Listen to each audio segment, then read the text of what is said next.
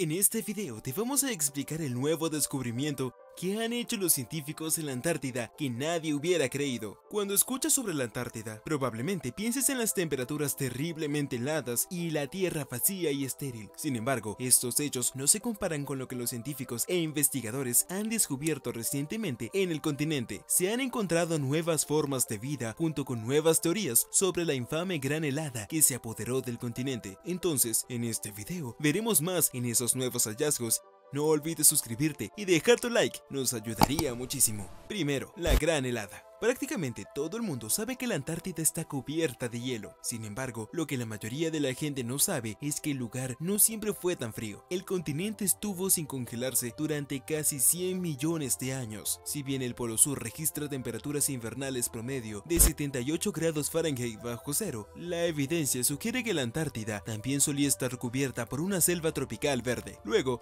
hace unos 34 millones de años, ocurrió un cambio dramático en el clima en el límite entre las epopeyas del Eoceno y la Oligocina. El clima cálido se volvió mucho más frío, creando una casa de hielo en los polos que continuamos viendo en la actualidad, que causó exactamente el cambio climático de una exuberante vegetación a una caja de hielo. Es una pregunta que los científicos están tratando de responder. A continuación, veamos algunas teorías posibles. La nueva explicación de por qué la Antártida sufrió una gran congelación al final de la época del Eoceno combina esencialmente dos ideas ya existentes y ampliamente difundidas. Uno de los grandes misterios en el mundo científico es cómo las capas de hielo de la Antártida se formaron tan rápidamente hace unos 34 millones de años, ayudando a marcar el límite entre las dos epopeyas. La primera explicación se basa en el cambio climático.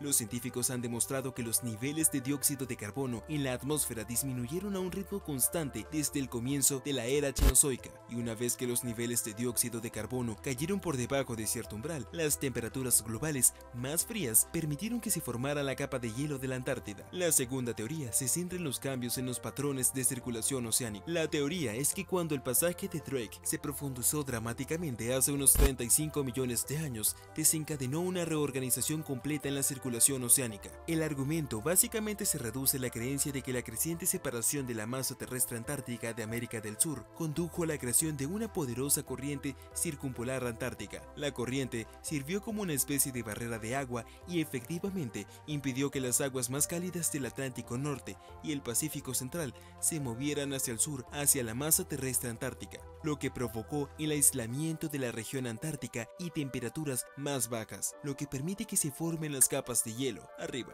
Para descubrir más sobre los cambios de la Antártida, nació el proyecto de perforación de Tanzania, o TDP. El TDP es un programa de investigación internacional que tiene como objetivo comprender mejor la forma en la que ha funcionado el clima de la Tierra cuando era más cálido y su viaje hacia nuestros estados glaciares actuales. Tanzania se ha convertido en un foco particular para esta investigación, porque sus rocas sedimentarias crustáceas y neocenas representan más de 100 millones de años de la historia de la Tierra y contienen aminofara, que está muy bien conservada incluso en los antiguos sedimentos crustáceos y paleógenos. Proyectos como estos son cruciales para aprender más sobre el continente aislado y cualquier vida potencial en él. Y ahora, impactante descubrimiento de la vida. Durante un experimento reciente, un equipo de científicos descubrió una caverna oscura llena de pequeñas criaturas parecidas a camarones. Encontraron el hábitat nunca antes visto en las profundidades de la plataforma de hielo Larsen, que es una enorme capa de hielo que se adhiere a la costa este de la Antártida. El equipo estaba perforando allí con una potente manguera de agua caliente. Luego se envió una cámara por el agujero recién formado para ver qué había allí. Los investigadores se sorprendieron cuando vieron un enjambre de pequeñas motas en su transmisión de video. Al principio,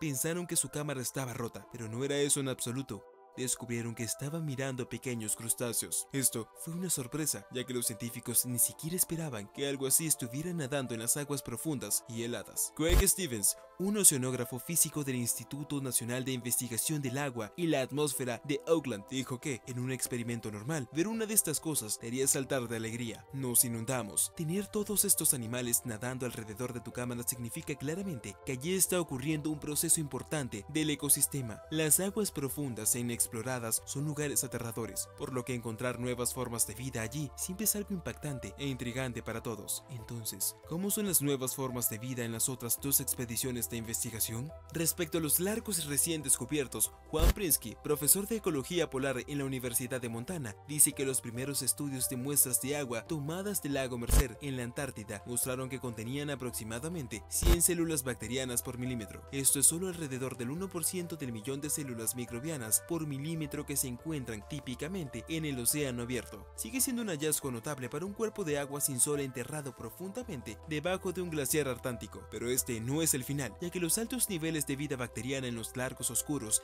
y profundamente enterrados son signos de que, mientras tanto, podría albergar forma de vida superior. La abundancia de vida bacteriana en el lago Mercer reflejó el descubrimiento de altos niveles de vida bacteriana en el cercano lago subglacial Williams de la Antártida en 2013 en la expedición. La vida bacteriana llevó a los científicos a teorizar que las bacterias en el lago Williams y posiblemente en el lago Mercer están sobreviviendo en depósitos de carbono depositados por organismos fotosintetizadores hace entre 50 y 100 años, mientras que los lagos enterrados pueden haber estado conectados al océano abierto durante su estancia en el hielo de mediados de diciembre del año pasado. El equipo de expedición usó taladros y agua caliente para abrir un pozo desde su campamento en la superficie congelada hasta el lago enterrado de agua líquida. El equipo de perforación perforó unos 3.504 pies de hielo y el agua debajo estaba a 30.8 grados Fahrenheit. Los investigadores científicos pudieron tomar muestras de agua y núcleos de sedimentos del lago que tenía unos 49 pies de profundidad en ese lugar. El equipo también había bajado un vehículo submarino o ROV especializado operando a distancia en las aguas oscuras del lago enterrado, así como varias cámaras que utilizan para tomar imágenes y hacer un video del fondo del lago. El descubrimiento tiene implicaciones para la búsqueda de vida en otros planetas, particularmente en el planeta Marte, donde hay signos de un lago enterrado. Se vio agua salada líquida en los datos informados en 2018 por la nave espacial Mars Express en órbita de la Agencia Espacial Europea. El profesor también agregó que cree que cualquier vida debajo de la superficie congelada del planeta Marte podría seguir los patrones vistos en el lago subglacial de la Antártida. ¿Agujeros de polemia? Probablemente no los hayas visto, pero están en la Antártida y son agujeros enormes que aparecen incluso durante el invierno cuando toda el agua está congelada. Sobre estos enormes agujeros han estado apareciendo esporádicamente, sin un patrón observable, desde las décadas en que su origen han permanecido misterioso. A pesar de que los científicos lo habían estado investigando recientemente, hubo un renovado interés en los agujeros de poliuretano cuando dos muy grandes se abrieron en el mar húmedo. En uno de ellos, las aguas abiertas se extendieron sobre 115.097 millas cuadradas, como se informó en el Geophysical Research Letters. Los investigadores predijeron que los poline holes pueden modificar los patrones climáticos en la Antártida o incluso fuera del continente. Por eso es tan importante comprenderlos y gracias a la ayuda de robots y dispositivos flotantes montados en focas, los científicos parecen estar más cerca de la respuesta de dónde provienen los agujeros